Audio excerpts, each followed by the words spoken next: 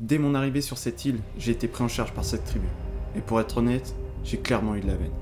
Ils m'ont appris tout ce que je sais, c'est-à-dire à vivre et à survivre. Ils m'ont offert sécurité et confort. J'ai appris avec eux plus que toute ma vie, et étonnamment, je suis capable de tout retenir malgré la complexité de certaines technologies. Maintenant, je n'en doute plus. Sans eux, je serais devenu fou. Pourquoi me diriez-vous? Je me rappelle d'une phrase qui disait La mort n'est qu'un autre chemin. Ici, la mort n'est qu'un retour direct sur cette île. Et cette île, oh non, n'est pas faite pour des humains. Je pense même qu'elle a été faite dans le but d'être totalement inhospitalière.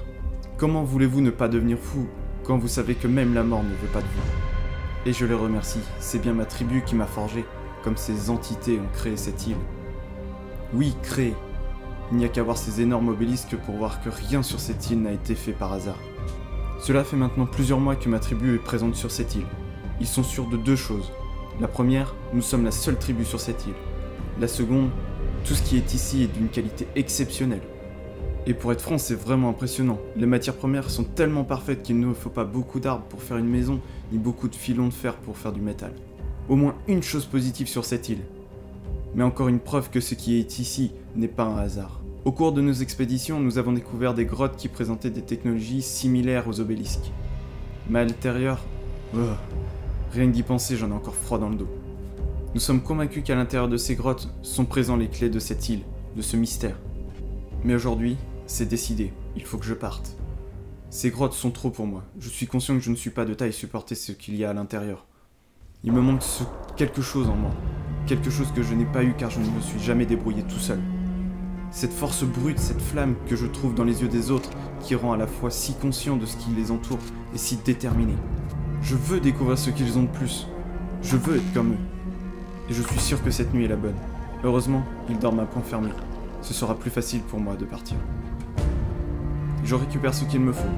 Des outils de base, comme une pioche, une hache, de quoi me défendre, une armure complète en métal et un fusil à pompe. Bon, un dernier regard sur ma tribu. J'espère que je vais vraiment obtenir ce que je veux. Cette nuit est vraiment sombre, mais je connais bien ces lieux. Le premier objectif, atteindre les Redwoods.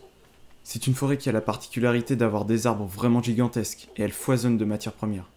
En fait, mis à part certaines plages, chaque endroit sur cette île est dangereux. Vraiment, la nuit n'est pas rassurante ce soir. Ma peur m'oblige à me retourner de temps en temps.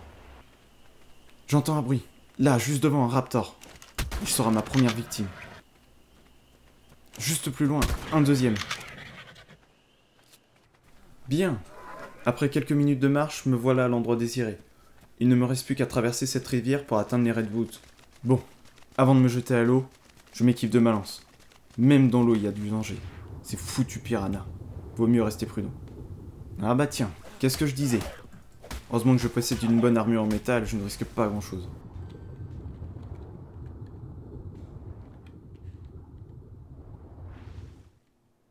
En revanche, ces troudons avec leurs yeux jaunes brillants de l'autre côté de la rive, sont vraiment un problème. Ils sont capables de faire s'évanouir n'importe quel humain en quelques attaques. C'est clairement un enfer pour moi. Mieux vaut les éviter. Bon, il semblerait qu'ils ne m'aient pas repéré. Me voilà enfin dans les Redwoods. Mais pourtant, je ne peux pas rester ici. Je suis beaucoup trop près de ma tribu. Et cet endroit est particulièrement dangereux pour une personne seule. Je vais longer la rive le temps de trouver un coin intéressant. Et merde Je me suis fait repérer par ces foutus troudons Vu leur taille, c'est vraiment compliqué de les viser avec mon arme. Mieux vaut que je cours. Je devrais arriver à les. Ah, mais forêt de merde Je me suis pris une putain de Ah, ils m'ont trop touché. Faut que je les avant. Recharge euh... Non Non Ah Ah, bordel, cette souffrance est vraiment insupportable. Voyez, comme je vous disais, même la mort ne veut pas de vous. Heureusement, ils dorment encore, et ma décision n'a pas changé. Il faut que je parte seul, c'est une nécessité. Je reprends ce qu'il faut et je pars plus motivé que jamais. Bon, me voilà à l'endroit de ma mort. La route a été plus facile que la première fois. Oh purée, un autre troudon Tiens, bouffe ça, sale bestiole de malheur Ah tiens, ses amis veulent faire partie de la fête. Mais j'ai prévu le coup. Ces baies blanches que je possède sont un excellent stimulant, pas moyen que je tombe dans les vapes cette fois.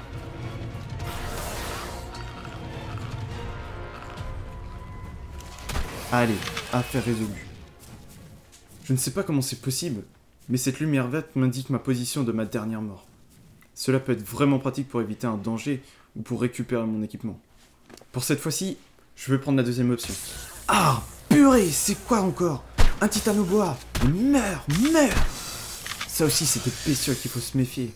Et les anesthésies aussi les humains.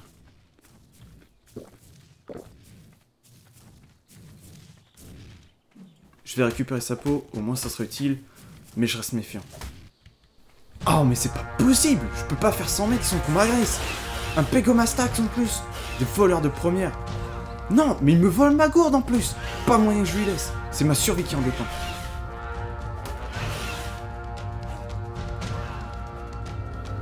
De t'enfuir, bordel Bon, ma lance ça suffit pas, je sors les gros moyens. Voilà, ça c'est fait.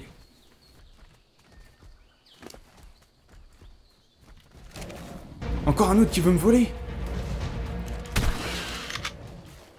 Wow, wow Ce combat de dino n'est vraiment pas beau à voir. Mieux vaut que je m'enfuis si je veux pas avoir de problème.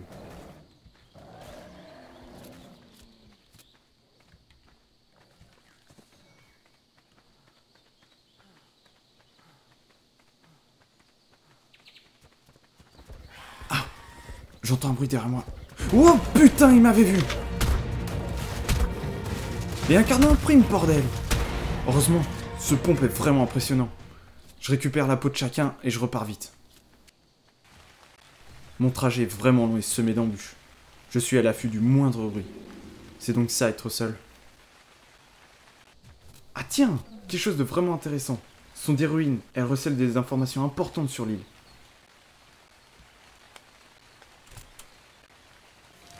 Une note sur un pachi. C'est vraiment pas mal.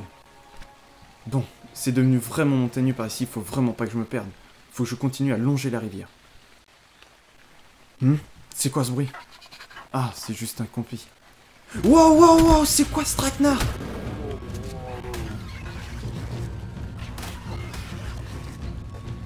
Purée, même les dindons sont dangereux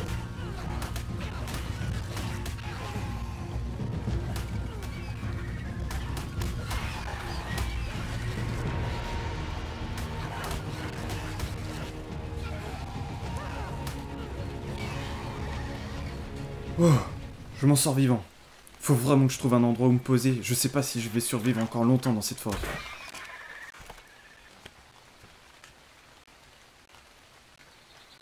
Waouh, ce paysage est vraiment sublime. J'hésite à me poser ici, mais la présence des marées m'en dissuade.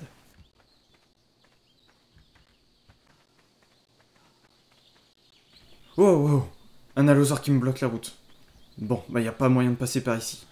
S'il était seul, ça irait, mais les allosaures sont toujours en groupe. Je vais dévier un petit peu de ma route.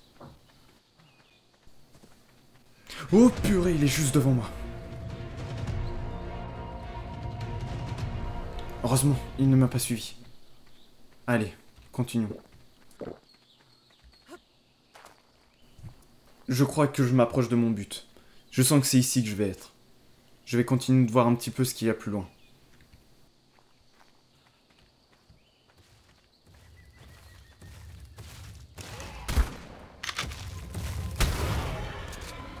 Non.